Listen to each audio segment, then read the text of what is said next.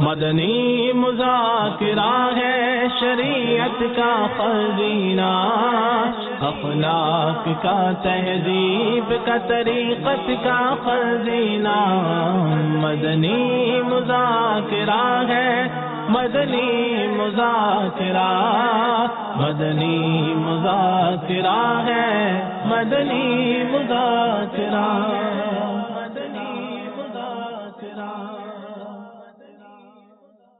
الحمد لله رب العالمين والصلاة والسلام على سيد المرسلين أما بعد فأعوذ بالله من الشيطان الرجيم بسم الله الرحمن الرحيم الصلاة والسلام عليك يا رسول الله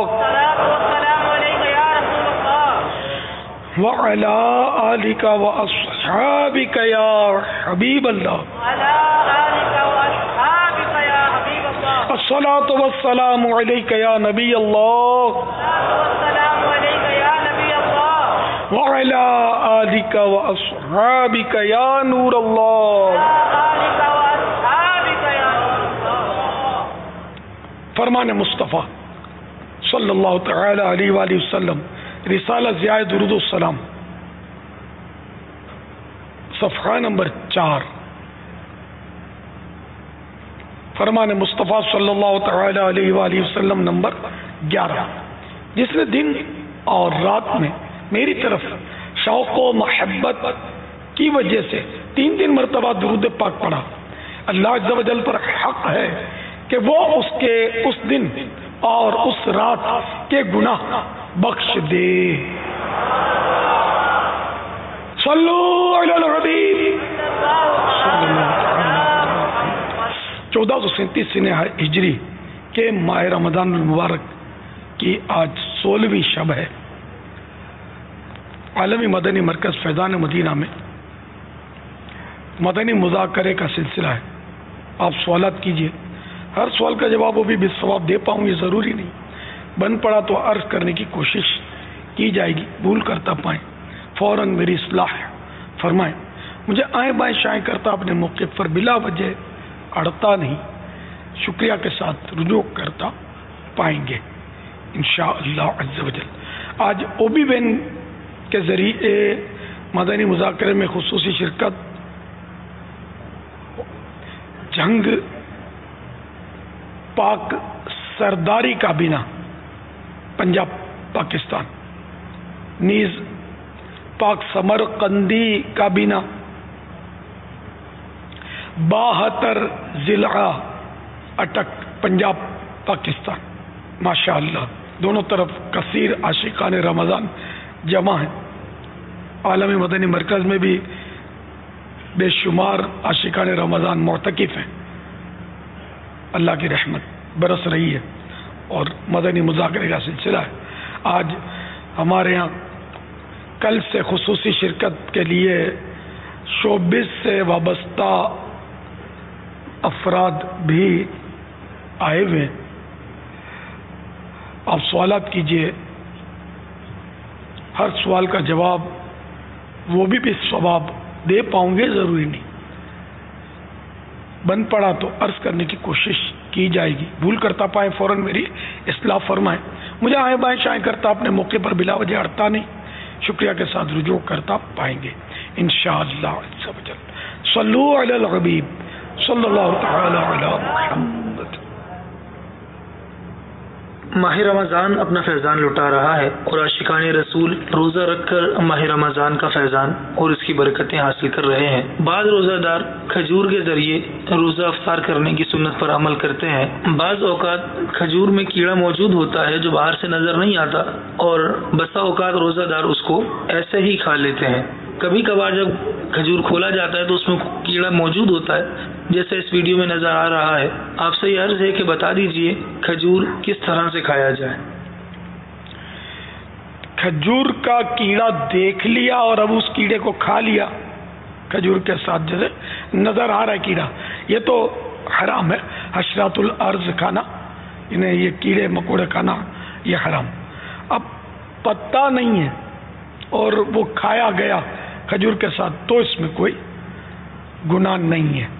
اس کو کھول کے ہر کھجور کو دیکھنا واجب نہیں ہے۔ البتہ پرانی کھجور ہے، تو اس میں عام طور پہ یہ کیڑے ہوتے ہوں، ہو جاتے ہیں۔ تو پرانی کھجور کو دیکھ لیا جائے، بہتر ہی ہے پھر بھی اگر کھا لی بغیر دیکھے، تو اس کو ہم یہ نہیں کہیں گے یہ کیڑے کھا گیا یعنی کھجور ہی کھائی۔ کیونکہ کھول کر دیکھنا واجب نہیں ہے نا۔ واللہ تعالی اعلم ورسولہ اعلم عز و جل وصلی اللہ تعالی علیہ وآلہ وسلم صلو علی الحبیب صلی اللہ تعالی علی محمد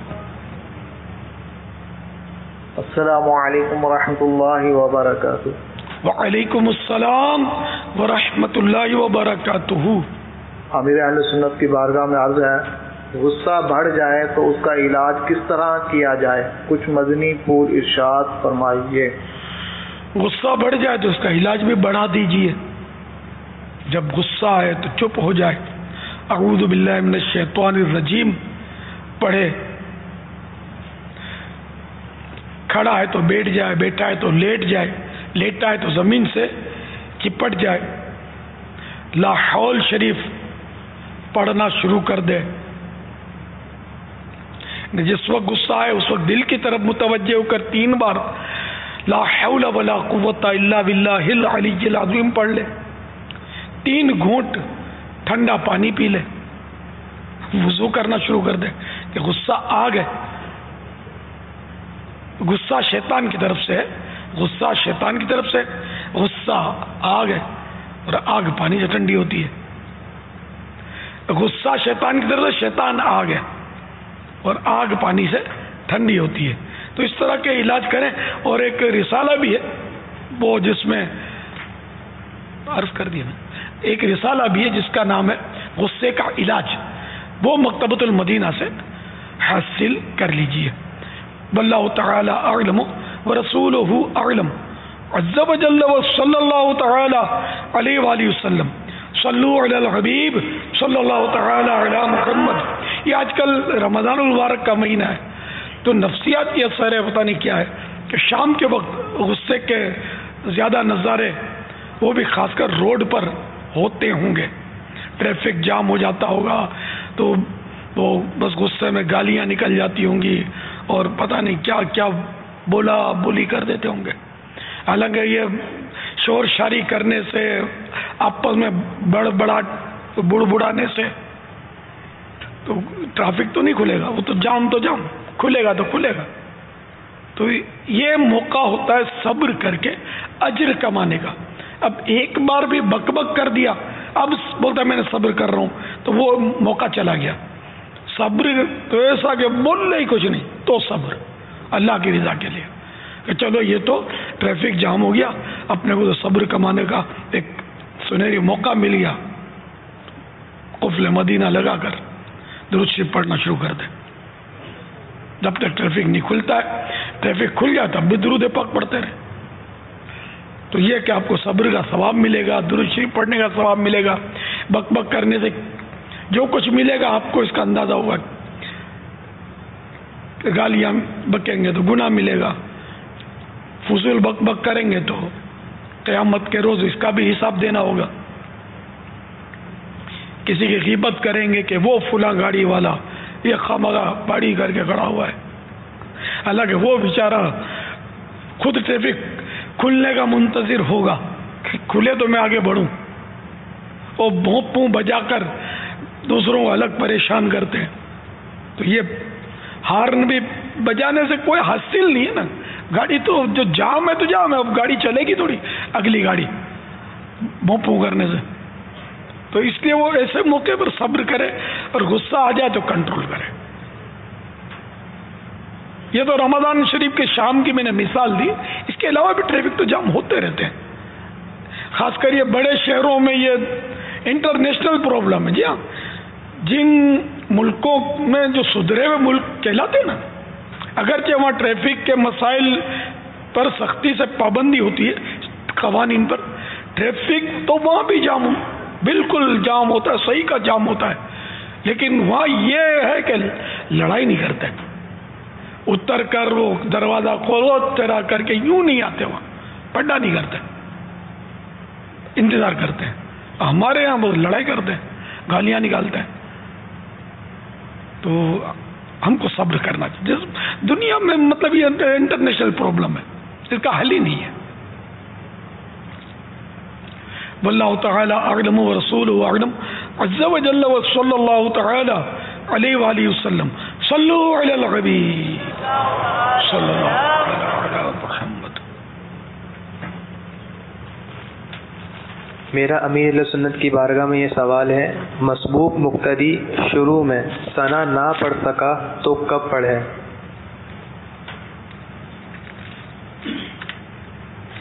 مسبوق شروع میں ثنا نہ پڑھ سکا۔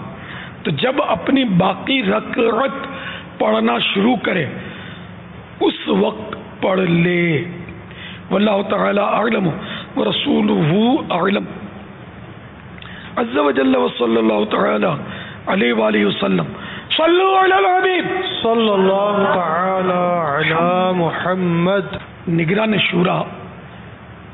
حاجی عمران کے مامو جان، حاجی فاروق، جو کہ حاجی آصف، حاجی اشفاق اور حاجی فرید کے والد ہیں، ان کا انتقال ہو گیا۔ انا للہ و انا الیہ راجعون۔ عصر اور مغرب کے درمیان ان کی نماز جنازہ بھی ہو گئی۔ آج بیچاروں کی قبر کی پہلی رات آپ پہنچی۔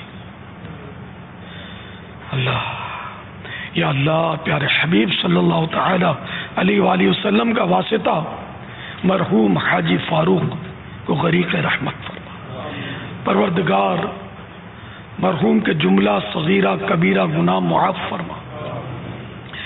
میرے مولا، مرحوم کی قبر کو نور مصطفیٰ صلی اللہ تعالی علیہ وآلہ وسلم سے روشن فرما۔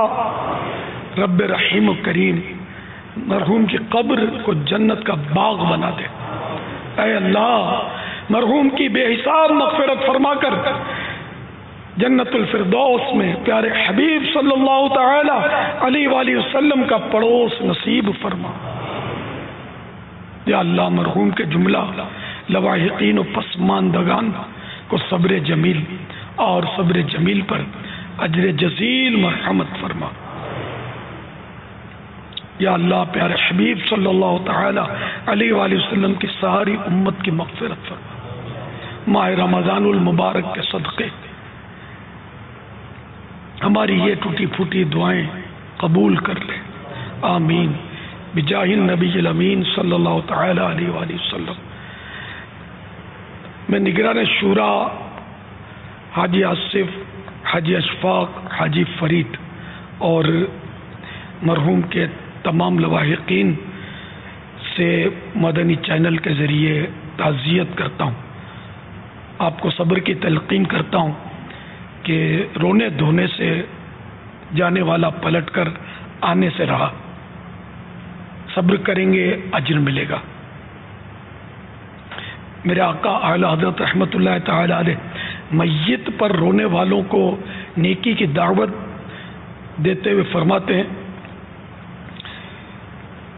آنکھیں رو رو کے سجانے والے یعنی میت پر رو رو کر اپنی آنکھیں سجا دینے والے۔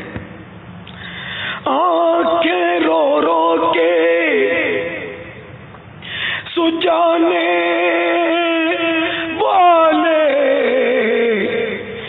جانے والے۔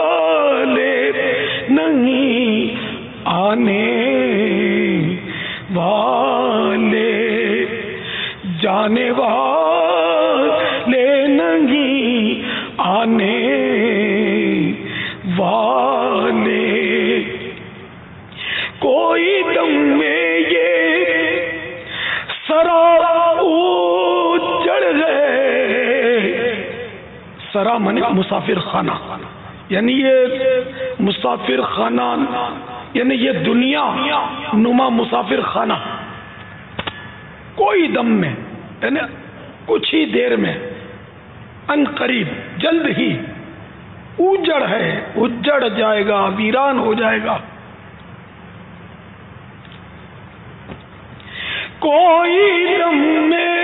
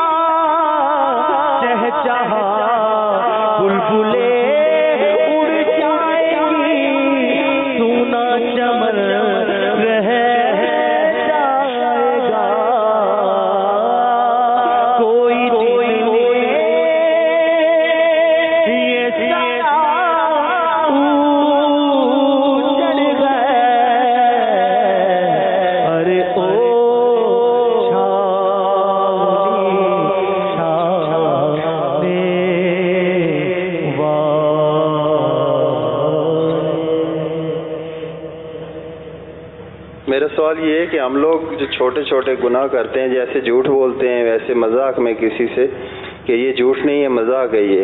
تو اس بارے میں آپ کیا کہیں گے؟ جھوٹ اس صورت میں جھوٹ چھوٹا گناہ گناہ صغیر ہے، لیکن جب کسی بندے کی حق تلفی اس میں پائی جائے گی، تو کبیرہ ہو جائے گا۔ لہذا اگر کسی کا مذاق اڑایا، اس طرح جھوٹ بولا کہ کسی کا دل دکھا، تو اب یہ چھوٹا گناہ نہ رہا بلکہ بڑا گناہ ہے۔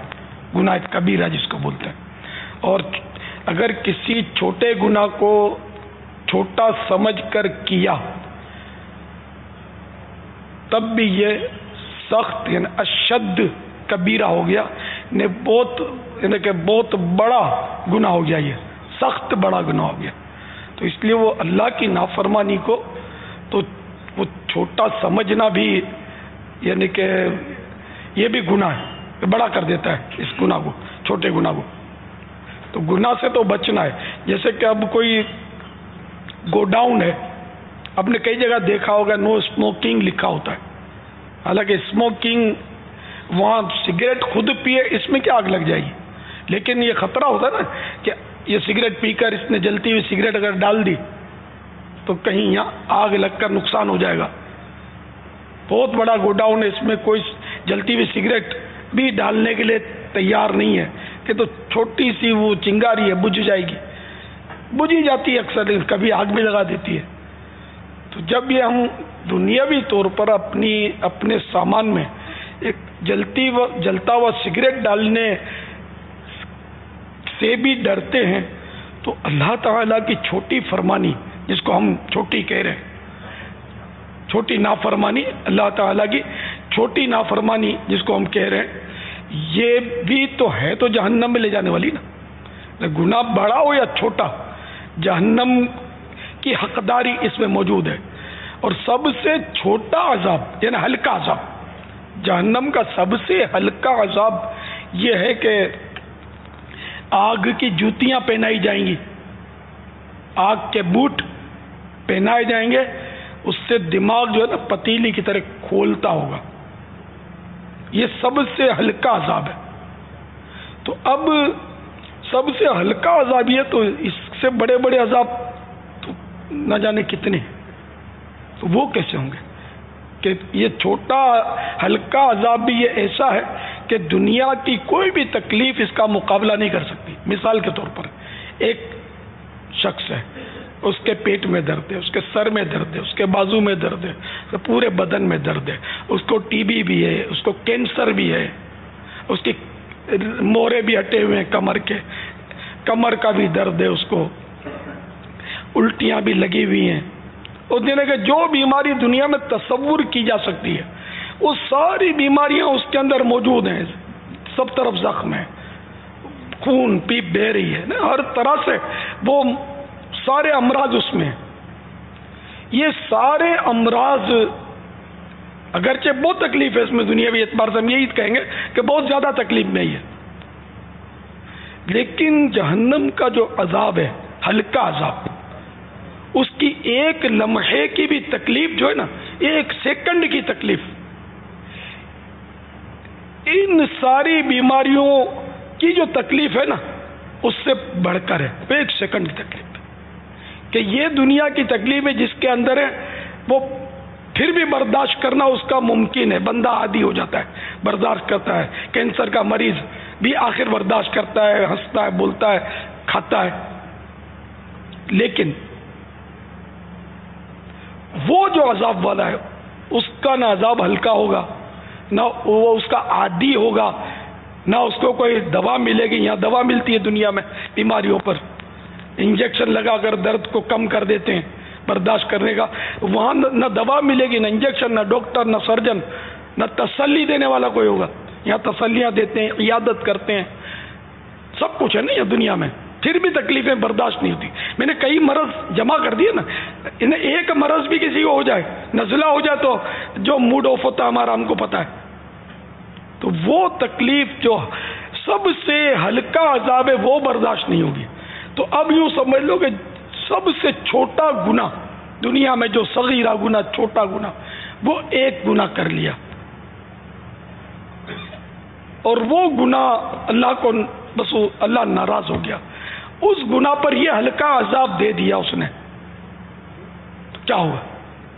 کیا گزرے گی؟ یعنی نمازیں پڑھتے رہے، روزے رکھتے رہے، سب کرتے رہے، لیکن ایک ہلک، ایک چھوٹے گناہ کی اس میں پکڑ میں آ گئے۔ رب ناراض ہو گیا تو کیا ہوگا؟ تو یہ ہے کہ اللہ تعالیٰ کی نافرمانی سے ہر صورت میں بچنا ہے۔ بتقاضا بشریت کبھی گناہ ہو جائے تو بلا تاخیر فوراً توبہ کر لے۔ کہ توبہ فوراً کرنا واجب ہوتا ہے۔ گناہ ہوا، توبہ فوراً کرنا واجب ہے۔ اب توبہ میں لیٹ کیا، تاخیر کی، تو یہ ایک اور گناہ ہو گیا۔ کہ توبہ میں لیٹ کی، لیٹ کیا۔ فوراً توبہ کر لے۔ ہر وقت توبہ کرتا رہے۔ اور توبہ میں یہ ضرور نہیں کہ یار گناہ کر لو، پھر توبہ کریں گے، گناہ کر لو، پھر توبہ کریں گے، کر لیتے یار پھر توبہ کریں تو تو توبہ نہیں ہے، بلکہ یہ تو اور بھی خطرناک ہے۔ کہ مفتی احمد یار خان صاحب رحمۃ اللہ تعالی علیہ نے لکھا ہے کہ توبہ کے ارادے سے گناہ کرنا کفر ہے۔ تو یہ تو اللہ تعالیٰ سے کوئی مذاق تو نہیں لگی نا؟ گناہ کرنے کا ارادہ بھی اور توبہ کر رہا ہے کہ پھر توبہ کر لوں گا تو توبہ یہ ہے کہ اس گناہ کا اقرار کرے ایکسپٹ کرے اس کو اور اس پر شرمندہ ہو کہ اس کو یعنی یہ احساس ہو کہ یہ میرے سے غلط ہوا ہے۔ خالی رسمی ہے کر کے ہنستے ہنستے جو گال پہ چپت مارتے نا، یہ توبہ نہیں ہے۔ ان ندم و توبتن، شرمندگی توبہ ہے۔ نادم ہو بندہ پشیمان ہو شرمندہ ہو۔ اب دنیا میں بھی کسی کو ہم تکلیف پہنچا بھی، کی کی کی کی کر کے ہم سوری کریں گے تو وہ تو میرا مذاق اڑاتا ہے۔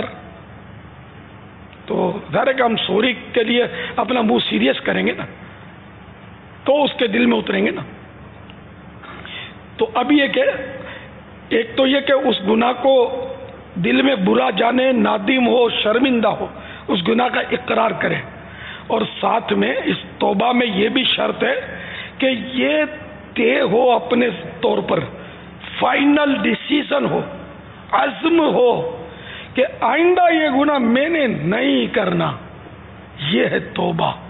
تذبذب ہے کہ آئندہ کر لوں گا، آئندہ ہو جائے گا، کر بیٹھوں گا، کر لوں گا۔ تو یہ توبہ نہیں ہے۔ جیسے ایک شیوڈ ہے، داڑھی منڈانا خراب ہے۔ اب اس کی تو یہ ذہن بنا ہوا کہ شیو کل تو چلو نہیں منڈائیں گے، پرسوں تو بڑھ جائے گا تو پھر شیو کرا لوں گا۔ یہ طے ہے پہلے سے۔ اب وہ کہہ رہا کہ یا اللہ داڑھی منڈانے کا گناہ معاف کر دے تو یہ یہ معافی نہیں ہے۔ تو مذاق ہے یہ تو۔ کسی کو مطلب ہماری یوں کونی لگ گئی تو، سوری، میں ایک لات بھی مارنے والا ہوں، آپ کو سوری۔ تو کیا وہ آپ کی سوری قبول کرے گا کہ آپ اس کو کہہ رہے ہیں کہ لات مارنے والا ہوں؟ تو اللہ تعالیٰ کو اگرچہ زبان سے نہیں کرے وہ دل دل کی جانتا ہے نا کہ جب یہ طے ہے کہ یہ میں پرسوں پھر داڑھی منڈانے والا ہوں، منڈا لوں گا، معاف کر دے اللہ۔ ہاں؟ تو یہ نہیں ہوتا۔ تو توبہ کے لیے یہ کمپلسری ہے، فائنل ڈیسیزن ہو کہ آئندہ یہ غلطی نہیں کروں گا، یہ گناہ میں نہیں کروں گا۔ پھر بتقاضا بشریت ہو گیا۔ تو پھر توبہ کر لے۔ لیکن طے یہی ہو کہ میں نہیں کروں گا۔ اس میں اللہ تعالیٰ کو دھوکہ دینا تو ممکن نہیں ہے نا۔ آدھا ادا کہ چلو یار زبان سے طے کر لیتے ہیں، اسے کرنا تو ہے۔ تو وہ اللہ تعالیٰ تو جانتا ہمارے دلوں کے حال۔ تو بہرحال یہ کہ ابھی جو کرنا ہے کر لیا جائے۔ توبہ کر لی جائے، سچی صحیح بولتا ہوں۔ ابھی جوانی کی مستی بہت سو کو چڑھی ہوئی ہے۔ سارے ہم لوگ، تقریباً ہم لوگ میں مائنس یعنی کہ اکثریت ہماری نوجوانوں کی ہے۔ اس وقت تو اس وقت سمجھ نہیں پڑتی کہ بوڑھاپے میں توبہ کریں گے۔ حالانکہ بوڑھے کے ہوتے ہوئے روزانہ بے شمار نوجوان موت کے گھاٹ اترتے اگر مرنے والوں کی فہرست بنائی جائے نا، تو اکثریت جوان مرتے ہیں۔ آپ اپنے محلے کا سروے کر لیجیے۔ اپنے محلے کا۔ تو آپ کو محلے میں بوڑھے کم ملیں گے۔ اپنے خاندان کا سروے کر لیں۔ اپنے گھر کی چار دیواری کا سروے کر لیں۔ بوڑھے کتنے ہیں؟ کوئی کوئی تو بڑھاپے تک پہنچتا ہے، باقی جوانی میں ہی، یا ادھیڑ عمر میں بیچارہ دنیا سے چلا جاتا ہے کئی بچپن میں فوت ہو جاتے ہیں یہاں بھی اس وقت، حالانکہ یہاں ہم بزرگوں کو بہت مان دیتے ہیں، اور ان کو بہت عزت دیتے ہیں۔ آپ دیکھتے ہیں، کتنا عزت دیتے ہیں۔ ان کو بوڑھوں کو تو الگ سے سوال کرتے ہیں، بزرگوں کو اتنا مان دیتے ہیں۔ تو یہاں ایک کشش ہے یہاں بزرگ بہت آتے ہیں۔ عمر رسیدہ اسماعیل بھائی، جتنے یہاں آتے ہیں، شاید کہیں بھی نہیں جاتے ہوں گے۔ کہ ان کو یہاں مان ملتا ہے۔ یہاں کے ہمارے اسماعیل بھائی ان کا احترام کرتے ہیں۔ میں ترغیب دیتا رہتا ہوں۔ تو یہ احترام کرتے ہوں گے میرا اس نے سن ہے۔ تو پھر بھی یہاں دیکھیے بزرگوں کی تعداد کم ہے۔ حالانکہ یہ عموماً ریٹائر ہوتے ہیں۔ ان کو نوکری دھندے کی اتنی فکر نہیں ہوتی۔ جوان بیٹے کما رہے ہوتے ہیں۔ سب کچھ ہوتا ہے۔ تو اب معاشرے میں ہیں ہی کم بوڑھے۔ محلے میں آپ سروے کریں، آپ کو بوڑھے کم نظر آئیں گے۔ تو یہ کہ بوڑھاپے کی منزل تک تو پہنچتا ہی کوئی کوئی ہے۔ یعنی کتنی بار وہ موت کے منہ سے نکل کر وہ بوڑھا ہوتا ہے۔ میں خود اپنا، میں کئی بار یوں کہہ سکتا ہوں کہ موت کے منہ سے بچ کے نکل کر آنکھ مچولی کھیلتے ہوئے موت سے ایک طرح سے محاورتن کہہ رہا ہوں کہ میں بڑھاپے کی دہلیز پر آپ پہنچا۔ اب اب کہاں جائے گا؟ تجھے پہلے چٹپن نے برسوں کھلایا، جوانی نے پھر تجھ کو مجنو بنایا، بڑھاپے نے پھر آ کے کیا کیا ستایا؟ اجل تیرا کر دے گی۔ بالکل سفایا اجل مانے موت۔ موت تیرا کر دے گی۔ بالکل سفایا جگہ جی لگانے کی دنیا نہیں۔ یہ عبرت کی جام ہے۔ تماشا تو بڑھاپے کے بعد کوئی منزل ہی نہیں ہے۔ بڑھاپا بس قبر کا بارڈر ہے۔ اب اب گرا کے اب گرا اب گرا کے اب گرا۔ بڑھاپے میں اگر آدمی جوانی کے سپنے دیکھتا ہے، ظاہر اس کی بھول ہے کہ اب جوانی لوٹ کر نہیں آئے گی۔ بچہ ہو تو سوچے گا جوان ہو جاؤں گا، جوان ہو تو سوچے گا، ادھر عمر کا ہو جاؤں گا، بوڑھا ہو جاؤں گا۔ لیکن بوڑھا کیا سوچے گا؟ کیا ہو جاؤں گا؟ بوڑھا زیادہ بوڑھا ہوگا تو بستر پہ آئے گا۔ اولاد دعا مانگے گی کہ یا اللہ میرے ابو کی مٹی ٹھنڈی کر دے، میرے دادے کی مٹی ٹھنڈی کر دے۔ اب ہم سے اس کی خدمت نہیں ہو پاتی۔ بوڑھا جب آدمی بستر پر آتا ہے تو زیادہ تر بیچاروں کو چڑچڑاپن بھی ہو جاتا ہوگا اور پھر پیشاب وغیرہ بستر پر تو جو تکلیف ہوتی ہوگی اولاد کو برداشت کرنا چاہیے اولاد کو، ثواب ملے گا، خدمت کرنی چاہیے۔ ایک بات بولتا ہوں کہ اتنی بڑی آزمائش ہے۔ اس لیے عام طور پہ ہم جیسے بوڑھے جو ہے نا، یہ دعا مانگتے ہوتے ہیں کہ یا اللہ کسی کا محتاج نہیں کرنا۔ کہ محتاج ہوں گے تو بیچارے جو نیچے ہیں ہم سے، آل اولاد وہ آزمائش میں پڑے گی، ہم بھی آزمائش میں پڑیں گے۔ ہمیں ایمان و عافیت کے ساتھ بس مدینہ میں شہادت مل جائے، آقا کے جلووں میں۔ بستر پر ایڑیاں رگڑ رگڑ کر مرنا یہ بھی بہت سو کے لیے، بیچاروں کے لیے بہت آزمائش ہے۔ پھر یہ اولاد خدمت نہ کر کے بھی بعض صورتوں میں گناہ میں بھی پڑے گی۔ تو ان کو بھی بیچاروں کو بچا لے یا اللہ، ہمیں کسی کا محتاج نہ کر۔ یہ عام طور پہ بوڑھا یہ خلاصہ میں نے کیا۔ بوڑھے جو ہوتے ہیں عام طور پہ یہ دعا مانگتے ہیں۔ ہمیں کسی کا محتاج نہ کر حالانکہ جوان بھی بعضوں کا دوسروں کو محتاج کرنے والا بن جاتا ہے۔ ایسا بیمار ہو جاتا ہے کہ وہ خاندان والے تنگ آ جاتے ہیں۔ ایک بار مجھے ہاسپٹل لے گئے تھے۔ بعض عیسائی بھائی آ کر۔ اور وہ لوگ بالکل ہی مطلب ماحول سے انٹچ تھے، مدنی ماحول سے۔ لیکن وہ جب ایسا ہوتا ہے تو مطلب کسی مولانا کو لے آؤ۔ نوجوان تھا، بستر پہ پڑا تھا۔ اور وہ یہ چاہتے تھے کہ اس کی روح قبض ہو جائے۔ اور اس کے منہ سے اس نوجوان ماڈرن نوجوان تھا۔ اس کے حلق سے ایک عجیب سی چیخ کی آواز بلند ہوتی تھی۔ اور جو مجھے یاد پڑتا ہے کہ مجھے یہ بھی کہا گیا کہ اطراف میں جو مریض ہیں نا، وہ بھی بیچارے تنگ ہیں اس سے۔ وہ رونی نکلتی، اس کی چیخ بلند ہوتی ہے، حلق سے۔ تو میرے کو لے گئے تھے، تو عبرت تھی بس، میں نے جو کچھ اپنا دم دعا کی وہ کر لی۔ بالکل یعنی کہ ماڈرن نہیں ماڈرن ترین لوگ تھے۔ ہاں بالکل یعنی کہ نہ میں ان کو جانوں، نہ یہ مجھے جانے، نہ۔ اس کے بعد کبھی کوئی مطلب ان کی ترکیب بنی۔ تو بہرحال بیچارے کا پھر بعد میں انتقال ہو گیا۔ اللہ غری کے رحمت فرمائے تھے تو مسلمان سر جبھی تو ایک مسلمان کو انہوں نے بلایا۔ دعوت اسلامی کا شاید یہ شروع کا دور تھا۔ تو پھر بھی خیر عبرت نہیں ہے نا کہ چلو اس کو دیکھ کر سارا گھرانہ جو تھا، اس کا اطلاع ملے کہ اب یہ سب مذہبی گھرانے میں کنورٹ ہو گیا۔ سب وہ نمازیں، سنتیں اداوت اسلامی کے مدنی ماحول میں سب یا آپ پہنچے ہیں کہ بس ہم کو بھی آخرت کی تیاری کرنی ہے۔ ایسا کچھ نہیں ہوتا۔ روز لاشیں اٹھتی ہیں، جنازے اٹھتے ہیں۔ ہم لوگوں کو احساس نہیں ہوتا۔ ہم تعزیت بھی ظاہر ہے کہ وہ عام طور پہ وہ زبانی کرتے ہیں، رسمی کرتے ہیں۔ جنازوں کے کندھے، رسمی کے ہر خاندان کا آدمی ہے، جانا پڑے گا۔ جانا پڑے گا، اس لیے جاتے ہیں ہم لوگ۔ عبرت نہیں لیتے کہ یار جس طرح ان کو کندھے پہ اٹھایا، اپنے کو بھی کندھے پہ اٹھنا ہے اور لوگ ہمیں بھی اٹھا کے لے چلیں گے۔ کیسی بے بسی ہوگی اس وقت۔ قبر کی کبھی تاریخی کو یاد تو کرے؟ بندہ، کتنی تنگ ہوتی قبر۔ اتنی بڑی جگہ میں بعض موتقبین کا اتنی بڑی جگہ ہے ایئر کنڈیشن ہے۔ فضان مدینہ کا یہ سارا حصہ۔ اس وقت جہاں آپ بیٹھے ہیں۔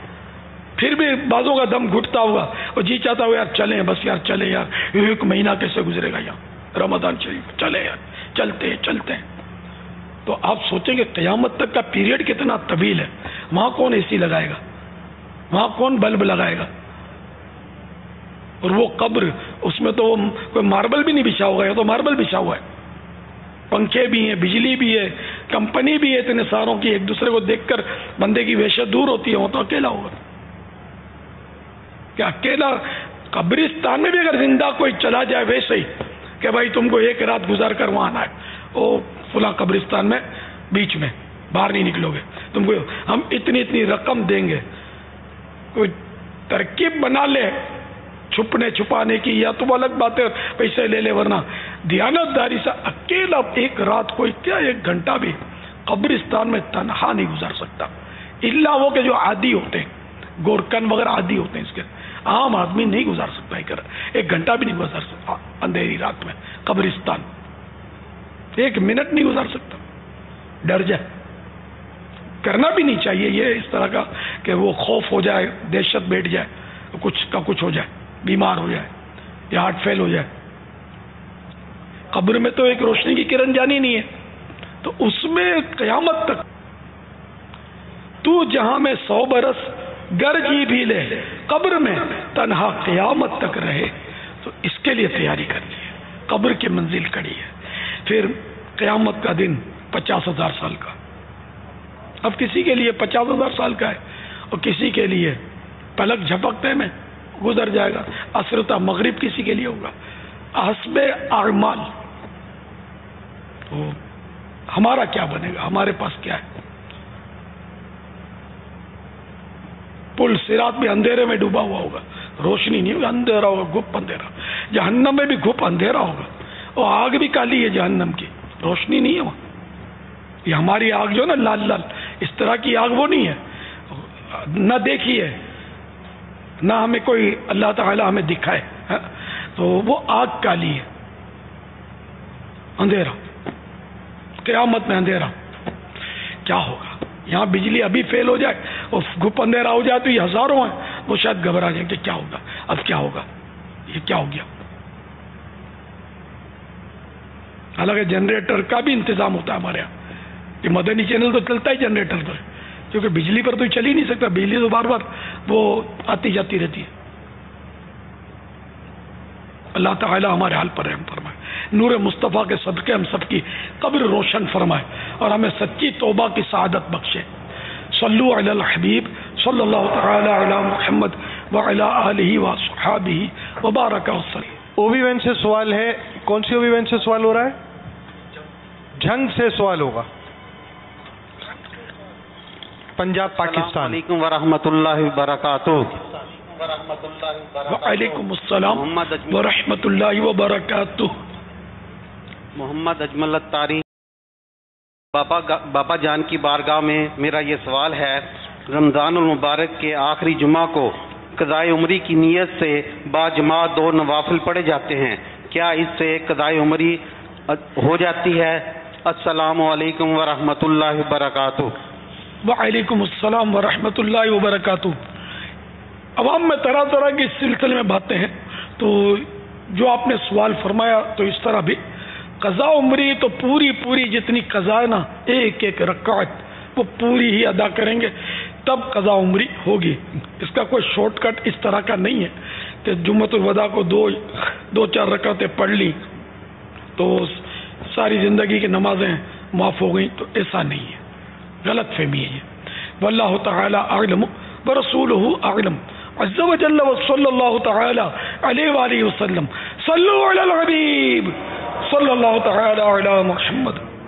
میرا نام محمد اعجاز قادری ہے، باب المدینہ سے بول رہا ہوں۔ حضرت، بارگاہ میرا سوال یہ ہے کہ جیسے رمضان آتا ہے نا، جیسے میری سمجھ میں تو یہ آتا ہے کہ پیکیج آتا ہے۔ جیسے موبائل کا پیکیج ہوتا ہے نا، مہینے کا پیکیج تو رمضان کا ایک پیکیج آتا ہے کہ مسجدیں بڑھ جاتی ہیں اور کیول افطار میں رونق لگ جاتی ہے روڈوں پر افطاری میں، شہری کے اندر، اور مسجد آباد ہو جاتی ہے اس کے بعد جیسے ہی رمضان جاتی ہے، وہ ایک مہینے کا رمضان کا پیکیج جو ہے نا، موبائل کی طرح مسلمانوں کے اندر سے ختم ہوتا ہے۔ اس کو برقرار رکھنے کے لیے کوئی مدنی پھول عنایت ہے پہلے تو اپنا پیکیج کا لفظ واپس لے لیں۔ یہ اللہ تعالیٰ کی طرف سے عطا کردہ انعام و اکرام اور بخشش و مغفرت کا مہینہ ہے۔ اور یہ اللہ تعالیٰ نے اس مہینے کی خاص اہمیت رکھی ہے۔ قرآن میں بیان ہوا ہے، حدیثوں میں بیان ہوا ہے۔ تو یہ ہوتے ہیں ایک یعنی مخصوص دن ہوتے ہیں جو ایک دوسرے پر فضیلت رکھتے ہیں۔ جمعہ ہے، یہ اور دنوں کا سردار ہے۔ جمعے کو عید کہا گیا ہے۔ اب جمعے کو بھی کوئی چھوٹا موٹا آپ پیکٹ کہیں گے کیا یا پیکج کہیں گے؟ نعوذ باللہ۔ تو ایسے الفاظ یہ شر اسلامی تہواروں کے بارے میں، اسلامی عبادت کے دنوں کے بارے میں نہ بولے جائیں۔ تو یہ رمضان المبارک کی برکت ہے کہ چلو، پورا سال اگر کوئی اللہ کی طرف نہیں آتا، تو اس مہینے میں آ تو جاتا ہے۔ ایک غنیمت ہے۔ کہ رمضان رمضان شریف میں مسجدیں آباد ہو جاتی ہیں شہری افطاری کی رونقوں کی آپ نے سوال میں مثال دی۔ تو سارا سال تو ویسے ہی روزہ نہیں ہے نا۔ تو سہری افطاری کی رونقیں تو رمضان کے ساتھ ہی خاص ہوں گی۔ اس کے علاوہ تو ہو ہی نہیں سکتی۔ امپاسبل ہے۔ تو اس کو وہ پیکیج کا نام دینا، یہ آپ کے لیے مدنی پھول ہے کہ آئندہ خیال رکھیے گا۔ اللہ تعالیٰ کی عطا ہے کہ سہری اور افطاری کی رونقیں ہم کو دی ہے ہے نا، ایک مہینے میں یہ ایسی رونقیں ہوتی ہیں کہ پھر سارا سال اس کی گویا لذت کبھی کبھی محسوس ہوتی ہے۔ کہ یار، رمضان میں رات کے اس ٹائم پر کیسا مزہ ہوتا تھا۔ آج تو سناٹا ہے رات کو اس وقت، ہے نا؟ ایک کتنی شہری کتنے بجے ہوتی ہے؟ مثال کے طور پہ تین بجے، ساڑھے تین بجے رات کے ہوتی ہے۔ تو رمضان المبارک نہ ہو تو رات کو تین، ساڑھے تین بجے کیسی چہل پہل ہوتی ہے، رونق ہوتی ہے، وہ کھانا پک رہا ہوتا ہے، آنکھیں مل مل کے اٹھے ہیں، تو امی ادھر تحجد پڑ رہی ہے، تو بھائی کو جگا رہی ہے، تو وہ اون کر رہا ہے کہ ابھی دیر ہے، اٹھ رہا ہوں۔ یہ رونق گھر میں رمضان کی رونق ہے نا اور رمضان کے علاوہ تین بجے نہ امی اٹھتی ہے، نہ ابو اٹھتے ہیں، نہ آپ اٹھتے ہیں۔ کون اٹھتا تین بجے؟ یہ رونق تو رمضان کے ساتھ ہے نا، ساحری افطاری کی، جو بہت لذت والی رونق ہے، کشش والی رونق ہے، مزے والی رونق ہے۔ رمضان جب تشریف لے جاتا ہے تو پھر جب جانے لگتا ہے تو ہمارے یہ ناخوان پڑھتے ہیں بز میں افطار سجتی تھی کیسی، خوب سہری رونق بھی ہو گیا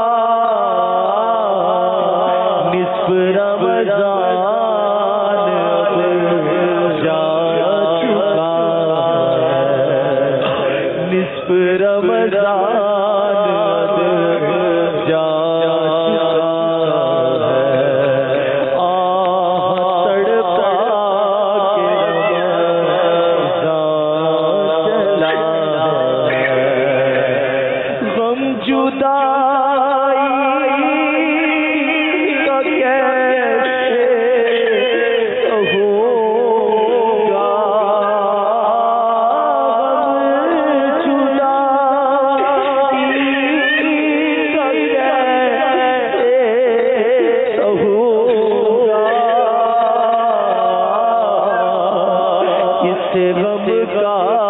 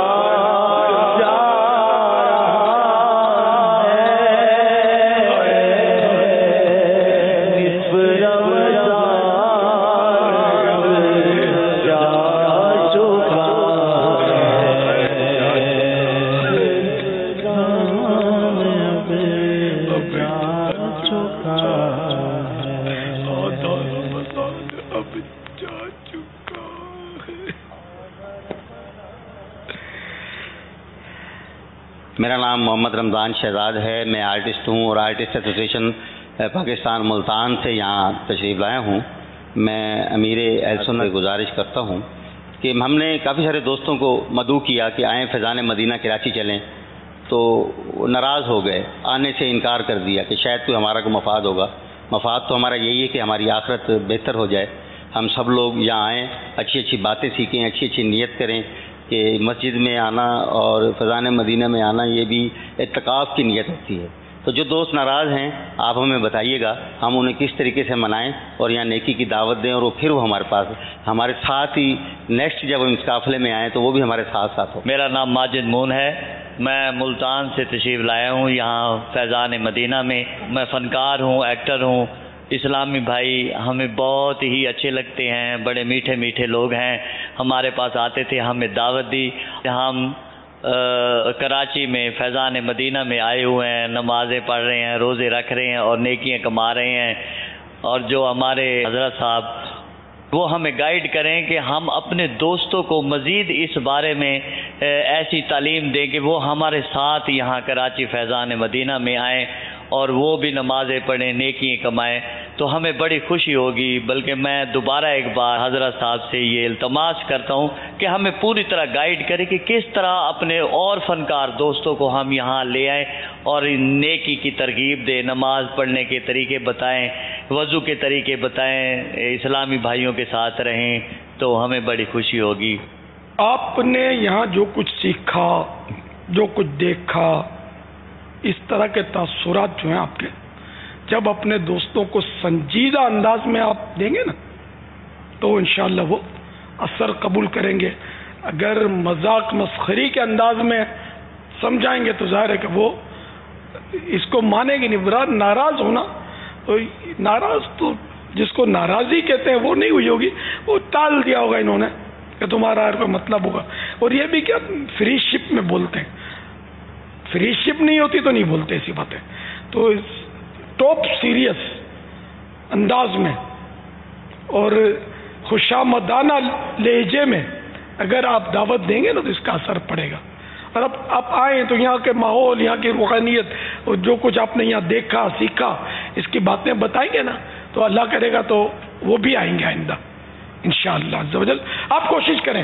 آپ ان کو خلوص دل کے ساتھ دعوت دیں گے اللہ کی رضا کے لیے۔ وہ نہیں بھی آئیں گے تو دعوت دینے کا آپ کو ثواب ملے گا۔ اپنا ثواب کھڑا کریں اور ان کے لیے کڑتے رہیں کہ یہ بھی آئیں۔ اور ہم سب اپنی آخرت کی بہتری کا سامان کریں۔ نیکیاں کریں، نمازیں پڑھیں۔ تو جب آپ میں یہ چینجز دیکھیں گے نا کہ اب یہ نمازی بن گیا ہے اور سنتوں پر عمل کرنے لگا ہے، پہلے کا انداز یہ تھا۔ اب وہاں جا کر اس کے انداز میں یہ یہ چینجز آئی ہے۔ پہلے تو تڑاک کرتا تھا، اب تو یار یہ ہم سے بھی آپ جناب سے بات کرتا ہے۔ جب یہ آپ یہ چینجز دیکھیں گے تو آپ کا یہ انداز خود نیکی کی دعوت دینے والا بن جائے گا۔ کہ نہیں یار اس میں فرق پڑا ہے، اپنے بھی چلتے ہیں۔ بولے یار آئندہ جاؤ تو مجھے بھی لے جانا، ہو سکتا ہے وہ آپ کو اب بھی سے کہہ دیں یہ۔ واللہ تعالی اعلم ورسولہ اعلم۔ عز و جل و صلی اللہ تعالی علیہ وآلہ وسلم. صلو علی صلی الحبیب اللہ تعالی علی محمد. یو کے میں افطار کا وقت قریب ہے وہاں کے ایک مدنی منع کا سوال ہے انگلش میں السلام علیکم ورحمۃ اللہ وبرکاتہ وعلیکم السلام ورحمۃ اللہ وبرکاتہ On the day of judgment, will there be an accountability for everything? کیا؟ جی۔ ہاں صاحب اس کا ترجمہ۔ مدنی منع کا سوال یہ ہے کہ کیا قیامت کے روز ہر ایک چیز کا حساب ہوگا؟ ہاں قیامت کے روز چیز تو بڑی چیز ہے ذرے ذرے کا حساب ہے۔ ہر نعمت کا حساب ہے۔ ثم لتسألن یومئذ عن النعیم پھر تجھ سے ہر نعمت کے بارے میں پرسش ہوگی یعنی پوچھا جائے گا۔ قیامت میں تو جب بھی تو بزرگوں کا عجیب انداز رہا ہے۔ غالباً منہاج العابدین میں سیدنا فاروق اعظم رضی اللہ تعالیٰ عنہ سے منصوبی یہ حکایت پڑی تھی۔ کہ ایک بار شہد ملا پانی پانی میں شہد مکس تھا، وہ آپ کو پیش کیا گیا۔ تو آپ نے لیا اور پھر واپس رکھ دیا۔